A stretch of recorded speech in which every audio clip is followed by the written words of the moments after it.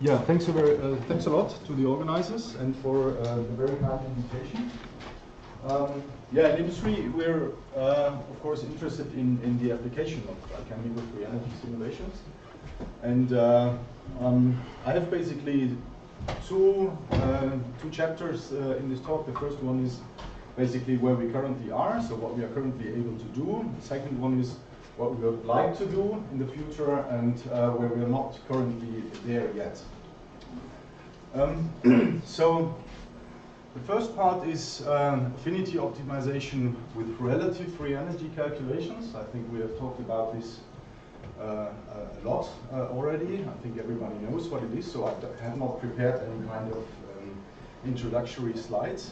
Um, I think there is one aspect regarding relative free energy and, uh, calculations uh, which has a little bit uh, been underappreciated so far, and that's the complementarity uh, with organic synthesis in, in, terms of complexity. I mean, when we compute certain numbers, uh, of course, it always uh, triggers a decision, should we design a molecule or should we synthesize a molecule or not? And the second aspect which contributes to that decision is how easy it is actually to make this molecule. And, uh, for instance, if you take this kind of molecule here, then uh, and you, you want to optimize it, of course, there is uh, a million ways you can modify these molecules. For instance, uh, if you do kind of modifications here on, the, on this amide side, so the chemists among you will immediately recognize that this is very straightforward chemistry, very easy. Uh, if you have the, the, the, carboxylic acid here, then you can do parallel synthesis and generate 100 compounds in a day. So it's actually not really worth computing these kind of things. Uh, and um, on the other hand, uh, if you would like to compute these kind of things, then these are exactly the types of, of uh, transformations which are not always so easy for chemical transformations because depending on what kind of groups you attach on this side, you deplete a lot of atoms or you have, have, to, have to add a lot of dummy atoms and this is usually the kind of things uh, which are quite challenging for these kind of things. On the other hand, um, you can think of uh, other types of modifications. So for instance, if you shift this nitrogen from here to here, the oxygen one position up, changing methyl to methoxy here, or even uh, change the nitrogen to an oxygen here, introduce different kind of chemical groups here, different stereo centers, uh, or even come up with a different heterocycle and a different aliphatic cycle here these are kind of things, uh, from a synthetic point of view, it's a nightmare. Because it's uh, simply, um, it's, each molecule here is a different, completely different synthetic route. It's completely uh, independent, no way of parallelization. Uh, stereocenters is always very difficult. And so uh, these kind of things are, from an experimental point of view, are very, very uh, exp expensive. And um, the nice thing about these kind of things is that um, the changes that you actually make to the topology of a molecule and uh, the kind of perturbations, let's say, they are comparably small, uh, small. And that's uh, why these kind of things usually work quite well uh, in, in uh, these relative free energy calculations. and uh, yeah, so um, here is how these alchemical free energy calculations work in our hands. So this is on a number of representative data sets, public data sets. So for those of you who are uh, interested in the technical details, so we're using GROMACS with the GAF force field and the PMX uh, that Bert already has described just before the coffee break. And we use a uh, non, uh, non-equilibrium protocol to use these free energy calculations.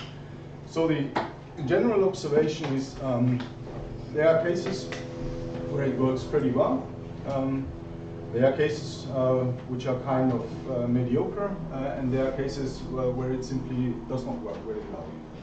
Um, and um, this is a very general observation that we also uh, observe with other targets. And um, there are many different reasons why why this is the case. Um, we have very few cases where where the atom mapping is a little bit problematic, where you create, it's not wrong, but if you create simply a lot of dummy atoms, this is simply something which is not working very well. Um, there is also definitely with the GAF force field there is room for improvement. I think um, so. There are a lot of dihedral angles which are not very good. Uh, we observed that certain chemical groups, sulfonamides for instance, we also stumbled over them, or in general everything which has a sulfonyl group, uh, is, is, very likely um, to be uh, not correct. Um, but since we talked about uh, a lot about sources of errors, I think um, there is also one source of error which we have not so much talked about yet, and um, this is experimental error. And I've um, collected a couple of examples, so this is not kind of exotic things I was digging for, so it's just uh, kind of things which I stumbled over in my own projects over the last couple of years. So this is a series of compounds measured uh, in an experiment, uh, in an enzyme assay. We always use duplicates to determine the IC50, so this is measured on the same plate. Same day, same experiment, same person doing the experiment in the suite. It's a, it's a very good assay, and that's the kind of experimental accuracy which you can expect. So this is a very good experiment. Um, for reasons I do not recall, uh, we measured the same compounds uh, one month later, and you see, again, it's a very, very good um, uh, agreement between the two IC50s, which have been determined at that day.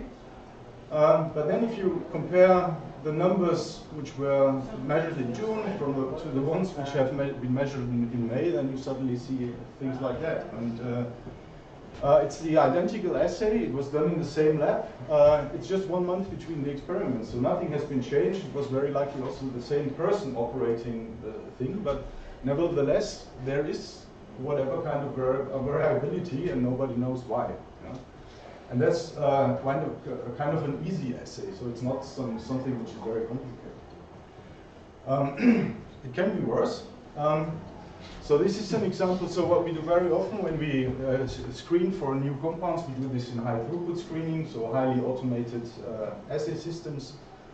And then when we take over the project, uh, we, do, we transfer the, the assay into a different uh, lab um, uh, to support the, it over the course of the project. And uh, so what, what is usually changing is, is uh, the equipment is changing. Sometimes you switch from a 384 well format to 96 well format. It's a different person usually operating things, but the reagents and all the kind of the assay protocol usually is the same. Uh, and this is a kind of correlation which you get. Uh, and this is also uh, nothing uh, which, which happens rarely or so. This is kind of pretty normal. It's experimental variability and uh, can be even worse. Um, so these two assays, uh, um, these are two different types of assays, but they are actually supposed to measure the same thing, which is the inhibition of an ion channel. The one is a so-called flipper assay, which is calcium fluorescence, which is often used for high throughput screening. The other one is uh, electrophysiology, an automated patch clamp, uh, which you cannot use um, be used for that kind of throughput. And yeah, basically what you see, there is no, no correlation at all uh, between the two assays, and that's simply the reality we are living in. Uh. So um, whenever you do methods development and, and compare numbers that you have computed with experimental results, I highly recommend that you very carefully look to what kind of experiment uh, you compare your data. Okay, um, that was the first part. Um, the second part um, is what we um, basically planning for the future and um, uh, what we are heavily uh, pursuing at the moment is, is a kind of a workflow uh, or finding strategy which, is called fragment-based drug discovery. I will very briefly, in a nutshell, explain uh, what, what, what the ideas behind. So you, you screen simply molecules uh, which are much smaller or smaller than the usual drug-like molecules. Uh, this, this, is simply because then you assume to have a better sampling of the chemical space which is available. Uh, and in contrast to the uh, other previous assays I showed before, they, the, you have not a functional readout, but you screen with biophysical methods which just uh, look for binding and in that case, uh, we at least use uh, three different biophysical methods, and usually all of these three give a different result. Uh, and then we usually take the ones where we have the most confidence in, and then we try to generate an X-ray structure, and that's what we usually get.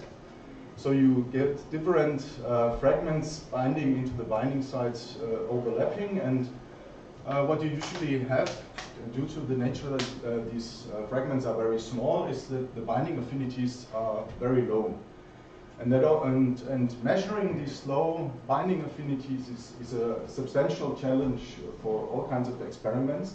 So very often in this case, you only have a kind of a binary information, it binds or it does not bind, but really getting a KD for these kind of uh, things is very, very tricky. So you, in, in, many cases, you don't get any kind of saturator binding and, and because perfecting is difficult.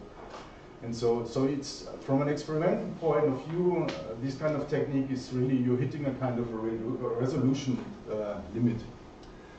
Okay, but um, yeah, so what do we actually want to do? Yes, we start from a low affinity binder, and where you actually want to go is to develop this into a high affinity binder. And there are different ways how to do it. Um, the most obvious thing is simply to take a fragment and simply grow it into a certain direction. Um, this is, of course, something where we think uh, this uh, we, we could probably tackle with a chemical uh, with, with, relative binding free energy calculations, depending on the size uh, of, of, the uh, group you attach here. Um, there are certainly a kind of challenges because usually these, these kind of molecules bind with a very low affinity and they behave simply differently uh, in, in MD simulations than more mature ligands. So sometimes they even move out of the binding site and these kind of things. So we simply have to check whether to use kind of restraints or so. We will see. Um, I think also a very severe challenge is what I just mentioned is um, you have not much reliable data where you actually can benchmark the methods here, and that's a, a, a real problem. yeah, the, the second um, follow-up method basically is it's called fragment merging. So you have different fragments in the binding sites, um, which are only partly overlapping, and then of course uh, what what you logically would do then is to combine them in the most meaningful way. And so you check for if there are any kind of overlapping bonds, which we call exit um, vectors. Uh, and these kind of things are probably, uh, there might be cases where, where you can do this probably with uh, um, relative free energy calculations, but I think in most cases uh, it's not. So there we will try if we um, can tackle that uh, with absolute binding free energy calculations. Um, yeah, we'll see how this works. The same problem with experimental data is uh, we have here as well. Uh, and uh, the third, uh, it's, it's the most difficult application is sometimes if you have fragments binding in completely different parts of the binding site and there is no overlap at all, then you have the problem uh, to find some kind of linker which connects uh, the two fragments. So actually that, this is not the problem to find some kind of chemical entity which can connect the two fragments. So we have algorithms for that that works pretty nice. Uh, but what we cannot do at the moment is then tell, telling afterwards if, uh, if, if the, the, molecule which we have designed uh, still binds or not. And this is also something uh, where we have to try uh, if we can solve this problem um, with um, uh, um, um, absolute binding free energy calculations. Okay, um, uh, yeah, I'm already almost done. So um, I think uh, concerning the relative binding free energy calculations with mature ligands, uh, we are kind of well set. We are doing this for an increasing number of projects you know, on a regular basis. Um, um, but I think uh, there, this, there's no reason to, to relax now and, and uh, um, become lazy. Uh, because uh, in, in, particular around this this this, um, this fragment-based drug discovery scenario, there's there are so many limitations from the experimental side, uh, and um, where you can really um, not just be complementary, but really add uh, add a lot of value from MD simulations in general, not just from free energy calculations. Because also the kinetics is such that, that you can simulate these these binding processes now on time scales, which which you, uh, this is usually on, on microseconds or tens of microseconds, so you can um, really make a, a, lot of strong contribution here. Yeah, so and of course what's uh, from an industry point of view always uh, uh, important is that if it's not really that simple then people don't use it. You know, that's, that's, a general observation. So automation and keeping things as simple as possible, uh, and uh, in the ideal case, uh, case uh, three mouse clicks uh, is that's how things should work ideally, and um, um, that's what uh, these kind of things really make suitable then for um, everyday project work. With that, uh, I thank my three students from last year, which have all bravely done a lot of MD simulations, uh, and I would also like Bert and Vitas uh, for helping with setting up the free energy calculations. And, and thanks a lot for your attention.